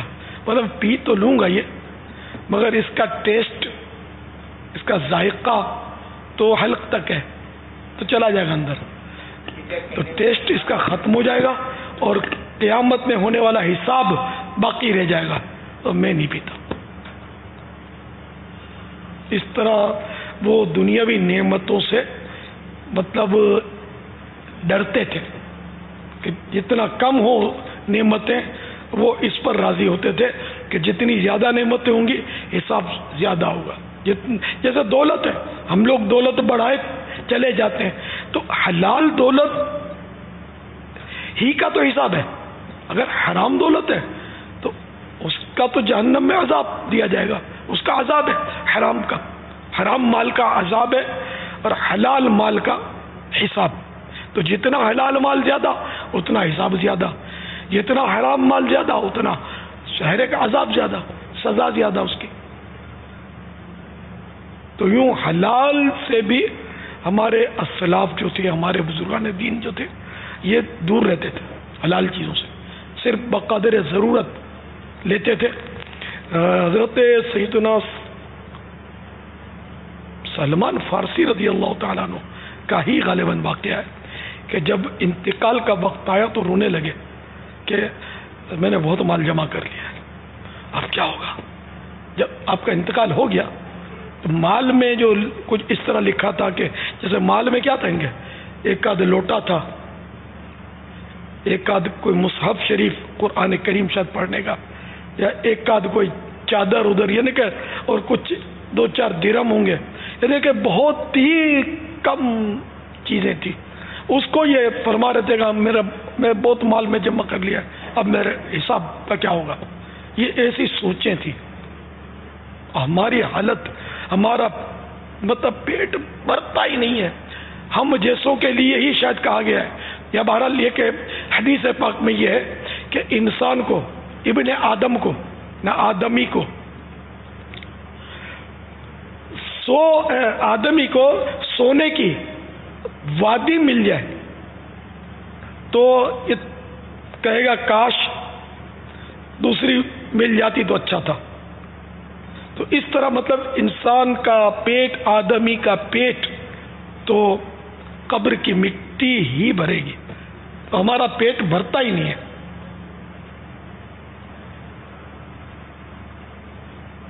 یہ حدیث پاک۔ حضرت سیدنا انس بن مالک رضی اللہ تعالیٰ عنہ سے روایت ہے، شہنشاہ مدینہ قرار قلب و سینہ صلی اللہ تعالی علیہ وآلہ وسلم کا فرمانے حقیقت نشان ہے۔ اگر ابن آدم کے پاس سونے کی دو وادیاں بھی ہوں، تب بھی یہ تیسری کی خواہش کرے گا۔ اور ابن آدم یعنی آدمی کا پیٹ قبر کی مٹی ہی بھر سکتی ہے۔ اس کے لیے میں مدنی چینل کے ناظرین اور حاضرین کو دعوت دوں گا کہ مقصد المدینہ سے ایک بہت پیاری عمدہ کتاب ہے۔ لمبی امیدیں اس سے بچنے پر۔ زہد اور لمبی امیدوں کے عنوان پر یہ المدین المدین العلمیہ نے اس کا ترجمہ کیا ہے۔ یہ عربی کتب تھی شاید۔ اس کا بہت خوبصورت ترجمہ کیا ہے اور اس میں اس طرح کے کافی مضامین اور سرکار مدینہ صلی اللہ تعالی علیہ وآلہ وسلم کی سیرت پاک کے بھی اس میں واقعات ہیں اور صحابہ کرام علیہ مردوان کے واقعات ہیں۔ آیتیں بھی ہیں روایتیں بھی ہیں واقعات بھی ہیں۔ بہت ایمان افروز کتاب ہے بہت مختصر ہے۔ مشکل سے بیس یا پچیس روپے شاید اس کا دیا ہوگا لیکن بڑی ایمان افروز کتاب ہے۔ ایک حرف نامی کتاب بھی ہے۔ حرف۔ حرف یہ کسی عربی کتاب کا ترجمہ نہیں ہے یہ خود المدینت العلمیہ نے اس کو مرتب فرمایا ہے۔ مختلف آیتیں روایتیں حکایتیں اس میں ہیں اور بہت بہت بہت پیاری کتاب ہے۔ حرص چھوٹی سی یہ بھی۔ دو سو اور کچھ صفحات۔ وہاں جو دیدیا ان کی روایت۔ صلو علی الحبیب صلی اللہ تعالی علی محمد. محمد. یہ کچھ تحریری سوالات میسیجز کے ذریعے جو ہمارے پاس آئے وہ میں عرض کرتا ہوں۔ روزے کی حالت میں کسی چیز کا ذائقہ چکھا جا سکتا ہے یا نہیں؟ روزے میں ضرورتاً چکھ سکتے لیکن چکھنے کی تعریف جو عوام میں نہ کچھ اور ہے عوامی چکھنا تو یہ ہوتا ہے کہ جس کو چکھنا ہوتا ہے اس میں تھوڑا سا کھا لیتے پپیتا چیک کرنا ہے تو وہ پپیتے کا جو منہ جو ہوتا ہے نا نوکدار، وہاں سے تھوڑی سی ٹکڑی کاٹ کے کھلا دیتے ہیں۔ یہ بھی ایک ٹیکنیک ہوتی ہے کہ یہاں میٹھا ہوتا ہے۔ اور جہاں سے پپیتا لگتا ہے نا شاخ میں، وہ حصہ اتنا میٹھا نہیں ہوتا۔ تو بارہ لے کے تھوڑا سا حصہ چکھ لیتے ہیں۔ اگر یہ چکھنا پایا گیا، اس طرح چکھے گا تو روزہ ٹوٹے گا، کفارے کے شرائط پائے گا تو کفارہ بھی آئے گا اس پر۔ چکھنے سے ایک تو ضرورت کا بغیر چکھنا مکرو ہے۔ وہ چکھنا جو اب میں اس کی تعریف بتاؤں گا۔ چکھنا یہ ہے کہ زبان کی نوک پر کوئی چیز جیسے لگائی، فوراً تھوک دیا اور سارا اس کا ذائقہ جو تھا وہ تھوک دیا۔ یہ ہے چکھنا اور یہ ہے مکرو روزے میں۔ اچھا اب اس کی ضرورت ہو تو مکرو نہیں ہے۔ مثال کے طور پر اس کی مثال باہر شریعت میں یہ دی ہے کہ کسی عورت کا شوہر جو ہے وہ تند مزاج ہے، لڑائی کرے گا، اگر کچھ نمک وغیرہ آگے پیچھے ہو گیا، تو اب اس حساب سے وہ اس لیے چکھتی ہے تاکہ وہ نہ زیادہ کھاری ہو جائے نہ پھیکا رہ جائے وغیرہ۔ تو اب ضرورت وہ اسی طرح نوک پر لگا کر پھر ذائقہ ٹیسٹ نوٹ کر لے اس کا۔ اب وہ اچھی طرح اس کو تھوک دے۔ کہ کوئی جز اس کا حلق کے نیچے کوئی حصہ حلق کے نیچے نہ جانے پائے۔ یہ ہے چکھنا۔ تو روزے میں اس کا جو حکم تھا شرعی وہ میں نے عرض کیا۔ واللہ تعالی اعلم ورسول اعلم۔ عز و جل و صلی اللہ تعالی علیہ وآلہ وسلم۔ صلو علی الحبیب۔ سوالات کافی جمع ہو گئے۔ کیا غیر سید کا سید زادی سے نکاح جائز ہے یا نہیں؟ غیر غیر سید کا وہی کف کا مسئلہ چلے گا نا۔ باپ کی اجازت۔ سید زادی اگر بالغہ ہے تو پھر؟ تو اس صورت میں اس کی اپنی اجازت بھی ضروری ہے اور ساتھ ہی ساتھ نکاح کے وقت اس کے والد کی اجازت اس طرح بھی ضروری ہے کہ اس کے والد کو پتا ہو کہ جس سے نکاح ہو رہا ہے وہ غیر سید ہے۔ تو اس صورت میں نکاح ہو جائے گا۔ یعنی کسی سنی سید العقیدہ سعید غیر سید نے سیدہ کے گھر پیغام بھیجا، اس کے والد کو معلوم ہے کہ یہ غیر سید ہے، پھر وہ اس سے اس کا نکاح کرتا ہے اور سیدہ خود بھی راضی ہے۔ تو اس صورت میں یہ نکاح ہو جائے گا۔ نابالغہ میں اور شرائط بھی موجود ہیں۔ اچھا یہ ارشاد فرمائیے کہ رومن اور انگلش میں لفظ اللہ عز و جل درو شریف، قرآنی آیات اور احادیث کریمہ، قرآنی صورتوں اور پاروں کے نام وغیرہ لکھنا جائز ہے یا نہیں؟ عرض کر دیا کہ قرآن کریم غیر عربی میں لکھنا یہ گناہ ہے، ناجائز ہے۔ باقی عربی میں احادیث طیبہ اور دیگر مضامین لکھ سکتے ہیں۔ قرآن کریم کا ترجمہ یعنی انگلش میں ہو سکتا ہے، رومن میں ہو سکتا ہے۔ البتہ جو عربی دعائیں ہیں عربی کلمات مخصوص ہیں جیسے سبحان اللہ الحمد وغیرہ یہ دیگر زبانوں میں یعنی کہ ان میں جن میں حروف بدل جاتے ہیں ان میں نہیں لکھیں گے اردو میں سبحان اللہ لکھ سکتے ہیں کہ ان میں عربی اور اردو کے ایک ہی حروف ہے یہ ٹھیک یہ حروف ایک ہی ہیں ورنہ اردو کے کئی حروف ایسے ہیں جیسے پے چے ٹے یہ عربی میں نہیں ہے۔ ایک روزے کا فدیہ کتنا ہے اور اس کا ادا کرنے کا وقت کیا ہے؟ پورا رمضان گزر جانے کے بعد ادا کیا جائے گا کہ رمضان رمضان میں بھی پورے رمضان کے روزوں کا فدیہ ادا کیا جا سکتا ہے۔ دیکھیے اول تو فدیہ ہر ایک کے لیے نہیں ہے۔ ٹھیک ہے۔ یہ ہے شیخ فانی۔ کے لیے ایسا بوڑھا کہ وہ نہ اب روزہ رکھ سکتا ہے، نہ آئندہ اس کو ایسی قوت روزے کی لوٹنے کی امید۔ نہ گرمی میں رکھ سکتا ہے، نہ سردی میں رکھ سکتا ہے نا؟ وہ رکھ ہی نہیں سکتا روزہ، ایسا کمزور بوڑھا ہو گیا۔ اب وہ ایک روزے کا ایک فدیہ دے دے گا یہ۔ ٹھیک ہے نا؟ صدقہ فطر کی جو بھی صدقہ فطر کی مقدار ہے، وہ فدیے کی بھی مقدار ہے۔ اب چاہے تو ایک ایک کر کے روزانہ دے چاہے تو مہینہ پورا ہونے پر دے چاہے تو پہلے روزے کو ہی سب اکٹھا دے دے۔ چاہے ایک ایک کو ایک ایک دے چاہے ایک ہی آدمی کو سارے پورے مہینے کے اٹھا کر دے دے۔ یہ سب صورتیں اس کے فدیے کے ادا ہونے کی ہیں۔ دے گا کس کو؟ فقیر شرعی کو۔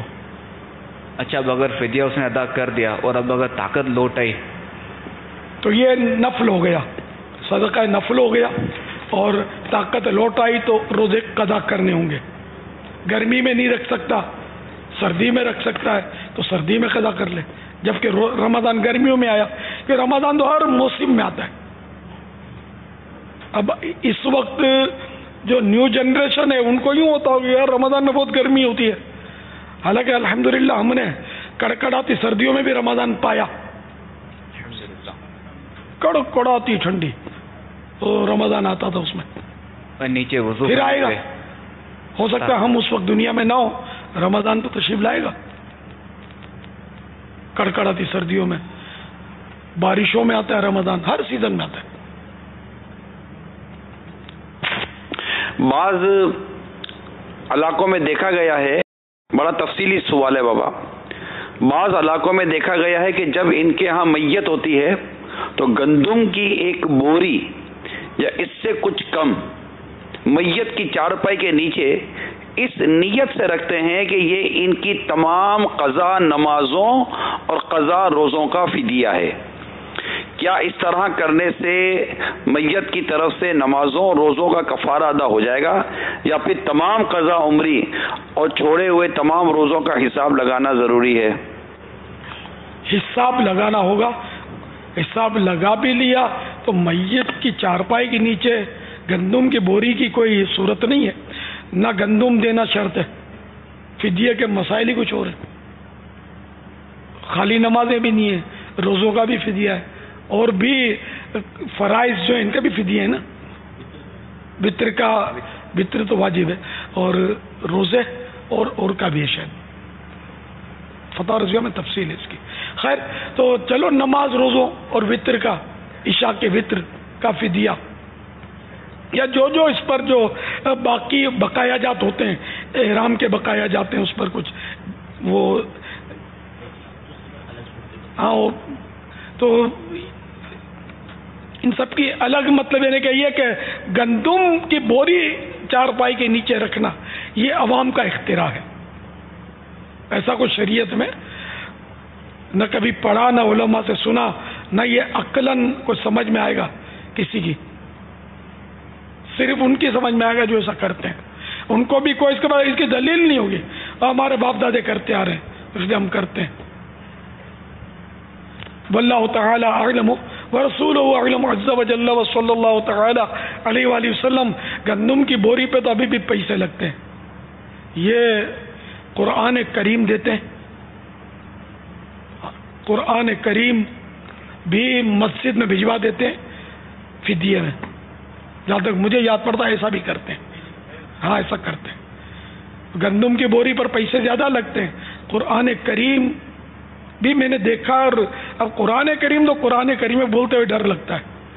لیکن ظاہر ہے کہ اس میں کاغذ کا حساب کتاب اور اب جو میں کہنا چاہتا ہوں شاید سمجھ سمجھ گئے ہوں گے۔ تو کم خرچے کا قرآن کریم مسجد میں دے دو۔ یعنی وہ دم توڑ چکا یا دم توڑنے والا ہے تو وہ بھجوا دیتے ہیں۔ اگر ویسے اگر ثواب کے لیے بھجواتے ہیں کہ مرحوم کی آسانی ہو جائے وغیرہ، تو وہ ایک وہ الگ صورت ہے۔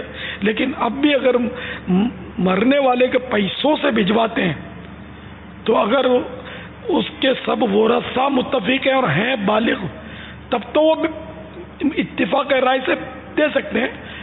لیکن کوئی نابالغ ہے تو نابالغ کے حصے میں سے نہیں دے سکتے۔ لیکن آج کل تو ذرا معلومات ہی نہیں ہے مطلب ترکہ تو تقسیم ہوتا ہی کب ہے؟ صحیح معنوں میں ترکہ تقسیم ہوتا ہی نہیں ہے۔ ترکہ تو صرف مطلب اگر کرتے بھی ہیں تو بڑی کوئی پراپرٹی ہوتی ہے۔ پلازے ہوتے ہیں، عمارتیں ہوتی ہیں، دکانیں ہوتی ہیں۔ تو یہ اس میں حصے کرتے ہیں، اس میں لڑائی کرتے ہیں کہ تو کام کم کرتا تھا، میں زیادہ محنت کرتا تھا، تو تو کرتا ہی نہیں تھا، تو تو نوکری کرتا تھا، دکان سے تیرا کیا تعلق؟ تم کو نہیں ملے گا حصہ۔ اس طرح جھگڑے کرتے ہیں۔ پچھلے دنوں بھائی نے بھائی کا قتل کر دیا بابا جائیداد کے لیے۔ معاذ اللہ ابھی اس, اس انہی دنوں کی بات ہے۔ معاذ اللہ قتل کر دیتے ہیں۔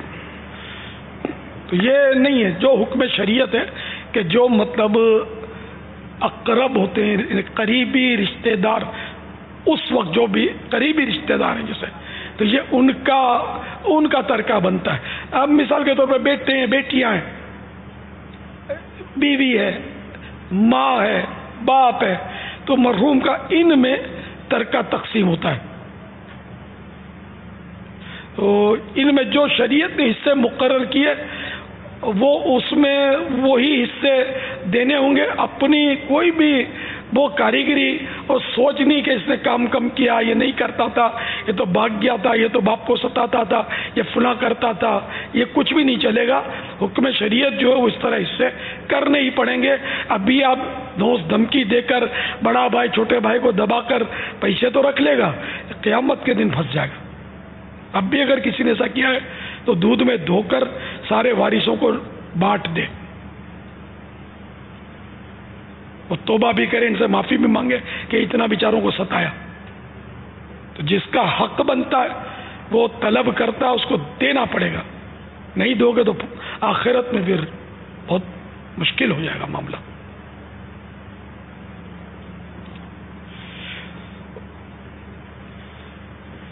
بہار شریعت حصہ بیس۔ میں ترکے کے مسائل ہیں اور وراثت کے مسائل پر دارالطاء سنت نے بھی مجلس افتاح کی طرف سے کوئی چھوٹا سا رسالہ؟ جی چھوٹا سا رسالہ ہے بابا۔ مال وراثت میں خیانت نہ کیجیے۔ مال وراثت میں خیانت نہ کیجیے۔ مال وراثت میں خیانت مت کیجیے۔ چھوٹا سا رسالہ ہے اتنا سا ہے۔ اور میرا خیال ہے کوئی تیس چالیس صفحے ہوں گے۔ زیادہ صفحے نہیں اس کے۔ یہ آپ لے لیں یہ تو میرے خیال میں ہر ایک کو اس کی ضرورت پڑتی ہے۔ تو وہ انشاءاللہ آپ کی رہنمائی کرے گا اور آپ کو احساس ہوگا کہ اس کی کتنی اہمیت ہے جس کو ہم اہمیت دیتے نہیں ہیں۔ یعنی ہم میں سے شاید ہی کوئی ہوگا جس کے ذرا سب کے بڑے تو فوت ہوتے ہی ہیں۔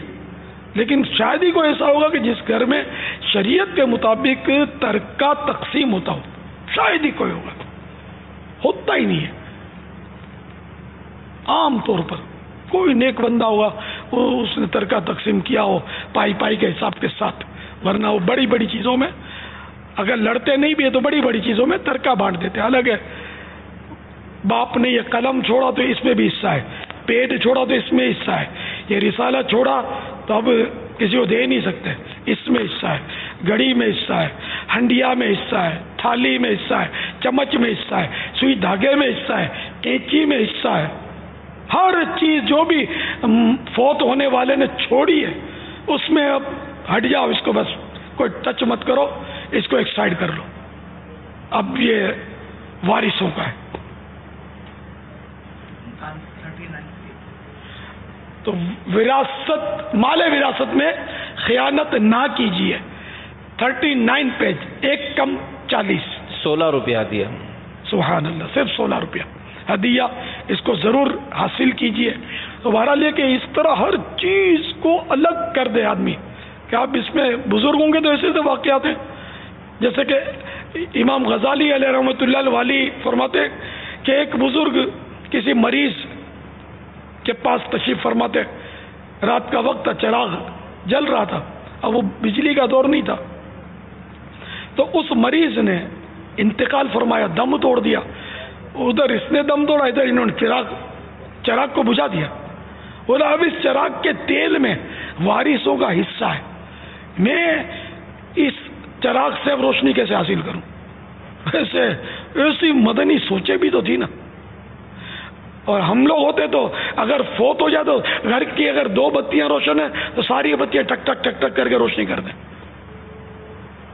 زیادہ بڑھا دیں روشنی، وارث اس کے مال میں سے۔ خود بجلی جگمگ جگمگ کر دیں شاید۔ اللہ اکبر۔ یہ ان کا حصہ تھا۔ اچھا آپ نے جو ہے وہ میرے تایا کے انتقال پر جو ترکہ تقسیم کیا تھا اس کی کیا ترکیب دوسرا ہے کہ آپ نے جو ہے وہ چچا زد بھائیوں کے بلوغت کے بعد آپ نے ان سے معافی بھی مانگی تھی۔ میں نے تو دارالعلوم امجدیہ سے مفتی وقار الدین صاحب رحمۃ اللہ تعالی علیہ سے فتویٰ لیا۔ ورثہ تقسیم کرنے کا جو طریقہ ہے، اس کا کہ اتنے ہمارے ہیں وارث، تو کس کو کتنا حصہ جائے گا؟ امی بھی حیات تھی ہماری، تو اس طرح مطلب پھر یہ کہ والد صاحب کے دور میں ترکہ تقسیم ہوا نہیں تھا، اس وقت شور نہیں تھا۔ اب بعد میں شور ہے، میں تو ڈیڑھ دو سال کا ہی تھا۔ تو والد صاحب نے جو بھی چھوڑا تھا، اسی میں سب یہ ہو رہا تھا۔ کھانا، پینا، کمانا، بڑھانا، گھٹانا، سب ہو رہا تھا۔ تو اب یہ کہ وہاں سے چلا۔ تو اب یہ کہ ظاہر کہ ایک یعنی کہ اور بھی ایسے مطلب رشتہ دار تھے کہ اب جیسے مرحوم کی بیٹی ہو اور ترکہ تقسیم نہیں ہوا، پیسے بڑھتے گئے۔ اب وہ فوت ہو گئی، لیکن اس کا حصہ میں سے بڑھ ہی رہا ہے۔ اب اس کی اولاد کو دینا پڑے گا۔ ظاہر تو یوں ہم نے سب یہ ترکیبیں بانٹ بانٹ کے کی، لیکن میں مطمئن ہوتا نہیں تھا۔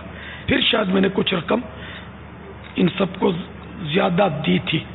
کہ میرے، میرا، ہمارا بھلے جائے، ہمارے پاس نہ رہے۔ یہ ایک مطلب ڈر بہت لگتا تھا۔ یعنی سچی بات ہے، اب بھی ڈر لگتا رہتا ہے۔ کہ کچھ رہ نہ گیا ہو، کچھ رہ نہ گیا ہو، کچھ رہ نہ گیا ہو۔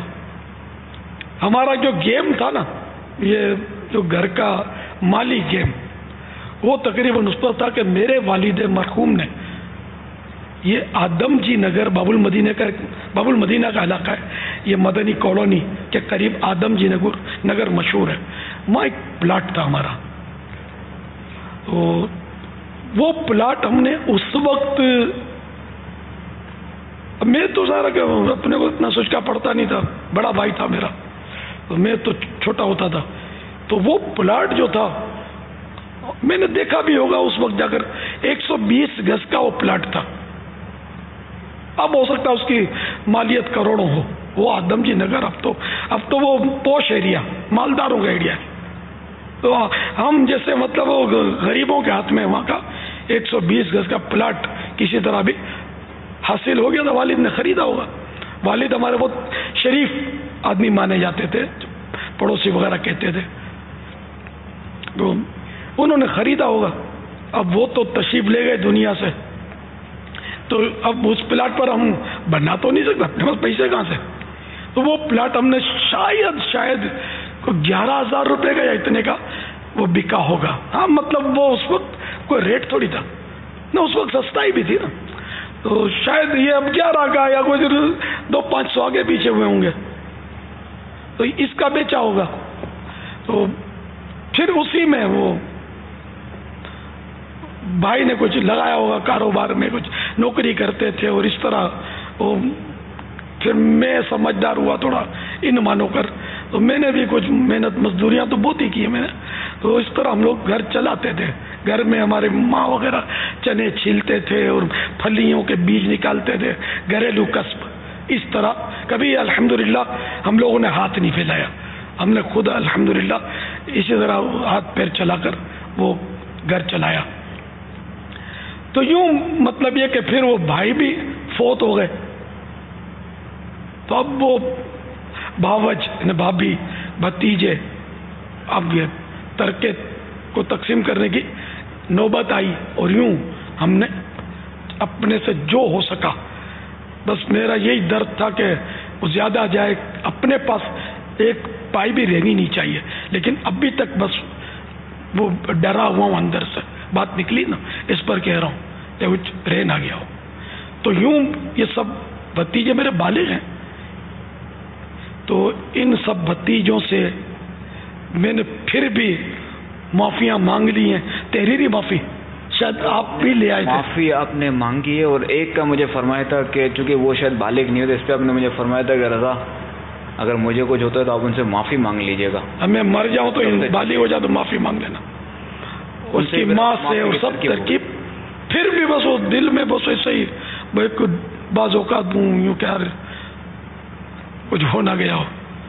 تو اللہ تعالیٰ بس بے حساب بخش دے ورنہ سچی بات ہے کیا جس کا حساب ہوا وہ پھنسا۔ تو بے حساب بخش کے ہیں بے حساب جرم۔ دیتا ہوں واسطہ تجھے شاہ حجاز کا صلی اللہ علیہ وسلم۔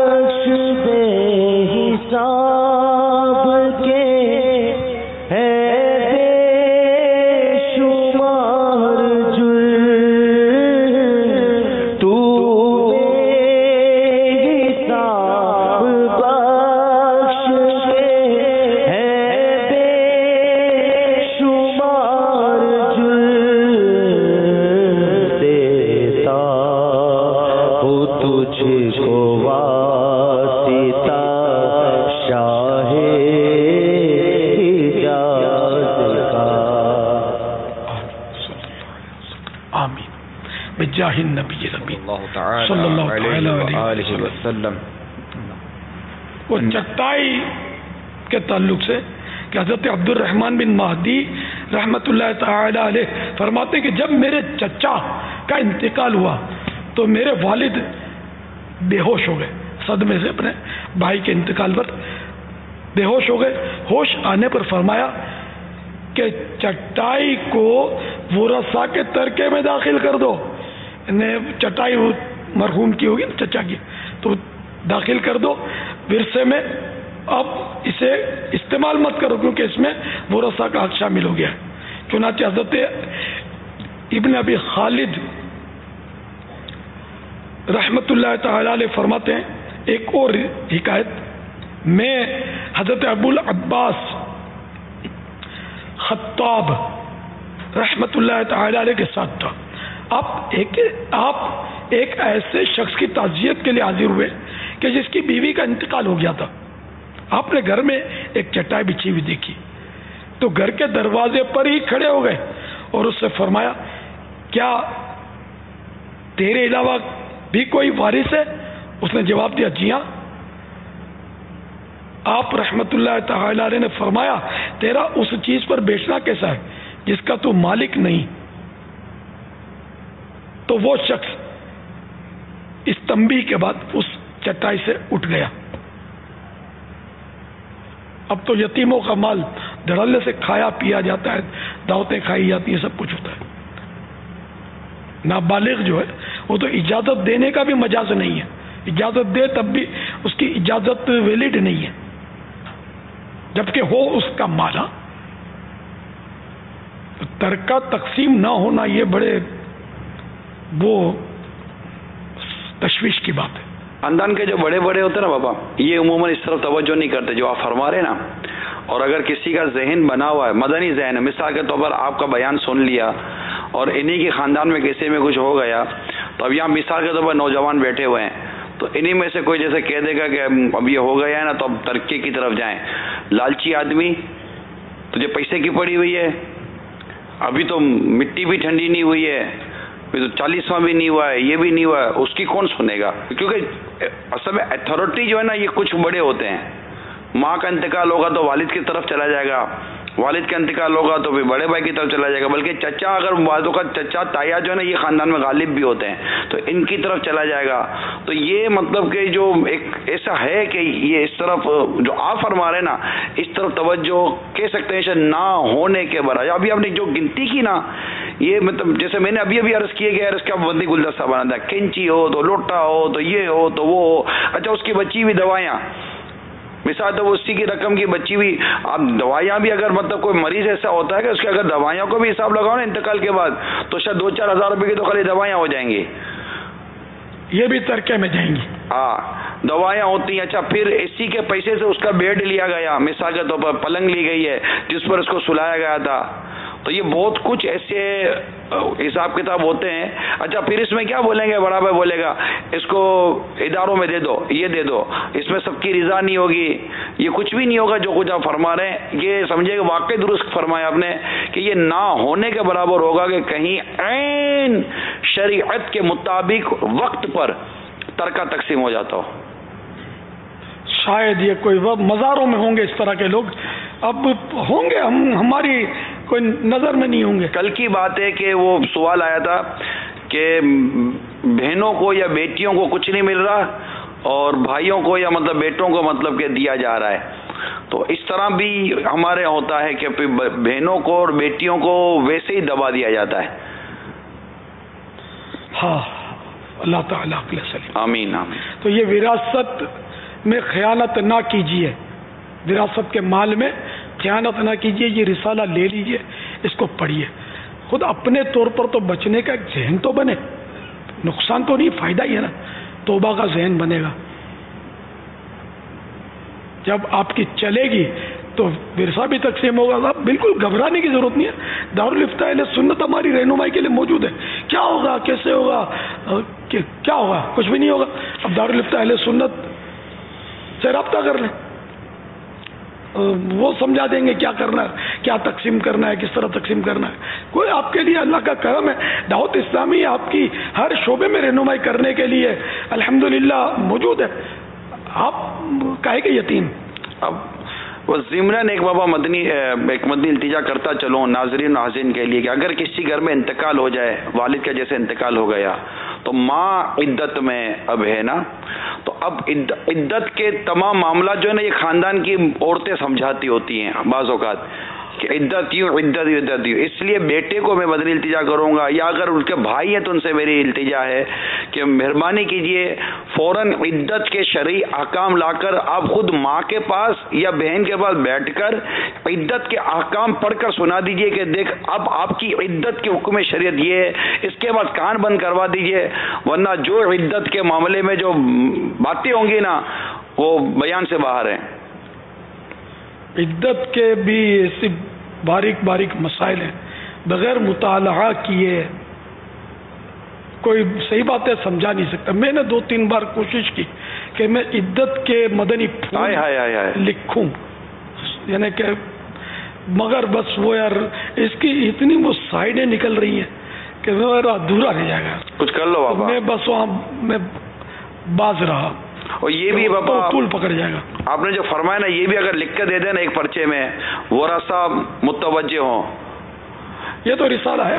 یہ یہ اشیاء یہ اتنا سا پرچہ بھی اگر آپ کی ایک پرچی بھی مل جائے نا کہ یہ یہ جو ابھی ابھی باریک باریک اشیاء جو آپ نے بیان کی نا غالباً اس کی طرف تو شاید ہو سکتا لاکھوں لاکھ کی توجہ نہ ہو۔ اب جیسے کہ آپ نے دو دن پہلے کی بات ہے حاجی رضا کھڑے ہوئے اور آپ نے نماز کے وہ کئی چیزیں درست کرائیں کرتے کو یوں کرتے ہیں یوں واجب بات۔ مجھے باقاعدہ بیرون ملک سے میسج آیا، میرا نام لے کے عمران، کتنوں کے واجب جا رہے ہوں گے؟ وہ ایسا مطلب کہ یوں مدنی ماحول میں رچا بسے ہوئے نہیں ہیں۔ لیکن وہ ان کے تین، چار، پانچ مجھے وہ تحریری پیغامات آ گئے۔ ایسی مطلب کہ جیسے ہے وہ لوگوں کو لگے کہ یار ہماری کو نمازوں کا ٹھکانا ہی نہیں ہے۔ تو پانچ اسٹیپ پڑھنے والی نماز بابا نہیں آتی۔ تو یہ گھروں میں ہونے والی میت تو پھر عدت اور یہ وراثت ترکے کے معاملات سال میں ایک دفعہ عید کی نماز کا طریقہ نہ بتائیں تو لوگوں کی عید کی نمازیں پوری نہ ہو سکیں۔ تو یہ ہے تو بہت نازک اور بہت قیمتی اور اہم ترین موضوع ہے جس پر اس وقت آپ کلام فرما رہے ہیں۔ اللہ بس توفیق دے۔ آمین۔ اللہ توفیق دے۔ کیا یہ ہر شادی شدہ عورت پر کیا یہ سیکھنا لازم ہے عدت کے مسائل؟ فرائض میں سے آئے گا؟ جب یعنی کہ وہ بیوہ ہوئی چونکہ اب اس کو یہ پتہ نہیں نا کہ بیوہ ہوگی یا وہ رنڈوا ہوگا کچھ پتہ نہیں ہے۔ تو اس لیے وہ جب تک بیوہ نہیں ہوئی ہے نا اس وقت تو فرض نہیں ہوگا۔ جو ہی بیوہ ہوئی تو اس کو یہ مسائل معلوم ہونے چاہیے۔ طلاق ہوئی تو یہ پہلے سے معلوم ہو اس کا مطلب۔ طلاق کے مسائل تو آنے چاہیے۔ معلومات ہونی چاہیے نا کہ عدت ہے کیا؟ جیسے حج کے بارے میں حج کب فرض ہوتا ہے۔ اس کے جو بنیادی مسائل ہیں وہ عدت ہوتی کیا ہے؟ اور گھر سے نہ نکلنا اور بنیادی دو چیزیں عدت گھر میں گھر سے نہ نکلنا اور زینت کا مسئلہ یہ چیزیں تو اس کو معلوم ہونی چاہیے۔ پہلے سے ہی پتا ہو کہ وہ گھر سے باہر نہیں نکل سکتی سوائے اس کے کہ اس میں کچھ شرعی عذر موجود ہیں جس میں نکل سکتی ہے، لیکن وہ محدود ہیں اور ٹف ہیں۔ بات بات پہ نکل آتی ہیں باہر اور زینت نہیں کر سکتی۔ سادہ لباس پہ نہیں یہ بھی ہے اور اس کے علاوہ کچھ اور باریک مسائل ہیں اس کے۔ بہار شریعت کے شاید آٹھویں حصے میں۔ اس کا بھی رسالہ المدینت العلمیہ والے نکال سکتے ہیں اسے، چاہیں تو۔ مگر وہی کہ دیکھو، ابھی تو یہ اردو کا مسئلہ بہت پیچیدہ ہے۔ اب میں ابن آدم، وہ آدمی اسی لیے بولتا ہوں، یہ ابن آدم، یہ شاید نہیں سمجھتے ہوں گے۔ اے ابن آدم، اب اب سمجھ جائیں گے، میں ان کو یہ سوال کروں گا تو۔ میں کئی بار اس کا ابن آدم کا خلاصہ کرتا رہتا ہوں۔ ابن آدم مانے آدمی آدمی میں سمجھتے ہیں، ابن آدم میں نہیں سمجھتے ہوں گے۔ پتا نہیں کسی آدم کا بیٹا یا حضرت آدم علیہ السلام کے فرزند کو یہ مخاطب کر کے کہا جا رہا ہے ابن آدم۔ ابن کا مانا سن آف سمجھتے ہوں تو۔ ادھر کو ہے ابن آدم؟ ادھر کو ہے ابن آدم؟ ان میں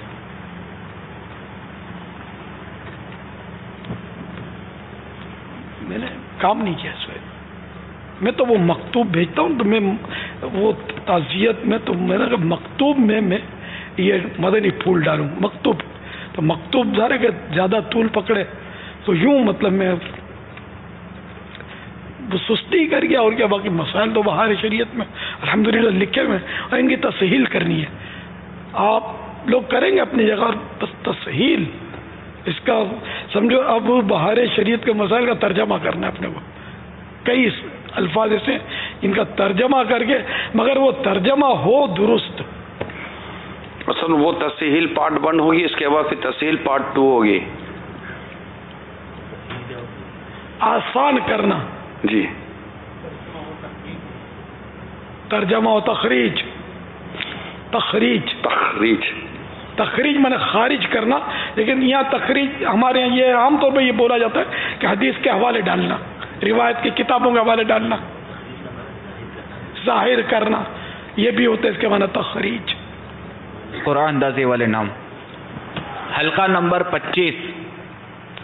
محمد عتیق اتاری ولد عبد المجید مظفر گڑھ حلقہ نمبر پچیس۔ محمد عتیق اتاری ولد عبد المجید مظفر گڑھ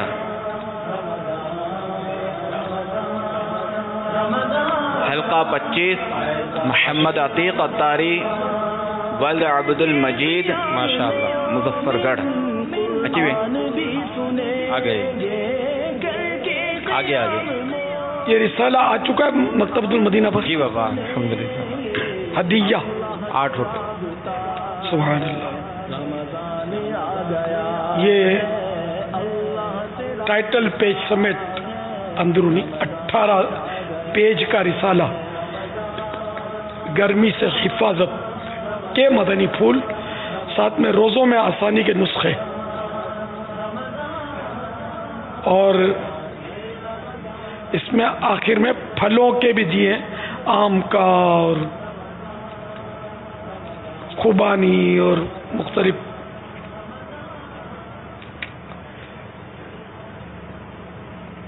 تو یہ اپنے صرف آٹھ روپیہ دیا۔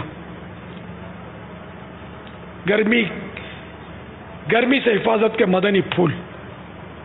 اس کو بھی قبول لبیک۔ آٹھ روپیہ دیا اسی روپے سینکڑا۔ آپ بھی پڑھیے اور اس کو ہو سکے تو تقسیم رسائل کی بھی ترکیب فرمائیے۔ آٹھ سو روپے سینکڑا۔ جزاک اللہ۔ اب آٹھ سو روپے سینکڑا آٹھ روپیہ ہاں سو۔ تو آٹھ سو روپے آٹھ کا ایک۔ اسی جو دو ہاں برابر۔ اسی کے دس آئیں گے۔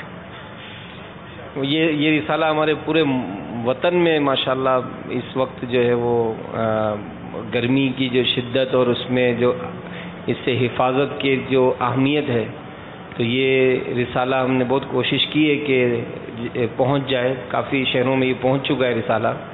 اور ذمہ داران کو بھی میسیجز کے ذریعے ترغیب دلائی ہے۔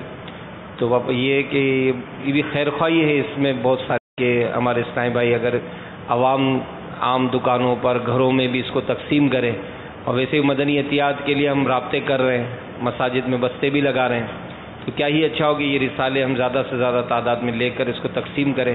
ہر اسلامی بھائی باپا اس میں اگر کچھ نہ کچھ نیت کرے اور اس رسالے کو پڑھے بھی اور اس کو آگے بھی پہنچائے۔ یہ ایسا ہے کہ یہ عام آدمی جو ہے نیوٹرل وہ بھی پڑھے گا اس کو، شاید عوام بھی۔ تو یوں آپ کی اس معنی آپ کا پیغام جائے گا نا، یہ سمجھ تو آ جائے گی نا رسالہ کن لوگوں کا ہے نا؟ ہر امام والوں کا ہے۔ ہر امام والے اچھا یہ معلومات بھی فراہم کرتے ہیں۔ تو یہ انشاءاللہ آپ کو فائدہ ہوگا۔ اس کو بانٹیے ہے کوئی ذہن بنتا ہے؟ پڑھنے، تقسیم کرنے۔ ماشاء اللہ تو یہ خوب اس کو خریدیے اور اس کو تقسیم کیجیے، پڑھیے بھی۔ کل اگر میں پوچھوں تو یہ پھر ہاتھ اٹھے کیا ہاں، ہم نے پڑھ لیا، یہ دھیان میں رکھنا۔ کل تک پڑھ لینا، یہ تو صفحے ہی کتنے اس کے؟ ایک منٹ میں ایک صفحہ ہو تو بھی اٹھارہ منٹ۔ لیکن اٹھارہ منٹ سے بھی شاید ہو سکتا ہے کم میں آپ پڑھ لیں۔ یہ رسالہ اصل میں کل سے آ چکا تھا۔ تو بعض اس ٹائم کو جیسے ہی پتہ چلا تو وہ ہیلس کر رہے تھے۔ بار بار آ کر کہ اس کا اعلان کب ہوگا کب سے ملنا شروع ہوگا۔ تو مکتبۃ المدینہ والوں کو کہہ دیا کہ بھائی آپ اس کی سیل شروع کریں۔ تو ماشاء اللہ اسلام میں نے خریدا بھی اور کئی ایک نے پڑھ بھی لیا اس کو۔ ماشاء اللہ الحمد اور دیگر مدنی چینل کے ناظرین بھی اس سلسلے میں اگر دعوت اسلامی کے ایک شعبہ ہے، تقسیم رسائل، جیسے امیر علیہ سنت کو بھی آپ ملاحظہ کرتے ہیں کہ یہ رسائل تقسیم ہو رہے ہوتے ہیں۔ تو اسی طرح اجتماعات میں ہمیں اور جگہوں پر بھی رسالے تقسیم کرنے کی حاجت ہوتی ہے، کتابیں۔ تو اس کے لیے ایک شعبہ ہے تقسیم رسائل۔ تو اگر آپ اس سلسلے میں اپنے مرحومین کے اصال ثواب کے لیے اگر کچھ اس شعبے میں بھی رقم دینا چاہیں، بعض کا شوق ہوتا ہے اور یہ بھی ایک علم دین پھیلانے کا بہترین ذریعہ ہے، تو اس کے لیے بھی کچھ نہ کچھ بجٹ بنایا جائے۔ امیر علیہ بارہا اس کی ترغیب دلاتے ہیں کہ اس کا کچھ نہ کچھ بجٹ بنائیں۔ کہ دیکھیں صرف آٹھ روپے کا یہ رسالہ، جس میں یہ تقریباً اٹھارہ انیس صفحات ہیں، تو اگر آپ غور کریں تو اتنا زبردست مٹیریل اتنا خوبصورت ٹائٹل یہ صرف مکتبۃ المدینہ ہی ہے جو اتنی کم قیمت میں رسالے جو ہے وہ فراہم کرتا ہے۔ تو اس کو حاصل کیجیے اور مدنی چینل کے وہ ناظرین جو اپنے مرحومین کے اصال ثواب کے لیے اس کو تقسیم کرنا چاہیں تو انشاءاللہ مدنی چینل پر آپ ہمارا اکاؤنٹ نمبر دیکھ رہے ہوں گے اس میں رقم جمع کروائیں انشاءاللہ عز و جل ہم ان رسائل کو کتب کو بھی تقسیم کرنے کی ترکیب بنائیں گے اور ویسے اپنے شہروں میں ذمہ داران سے رابطہ کیجیے اور آپ خود آگے بڑھ کے رسالے پیش کر دیجیے کہ ہماری طرف سے اس کو تقسیم کر دیں۔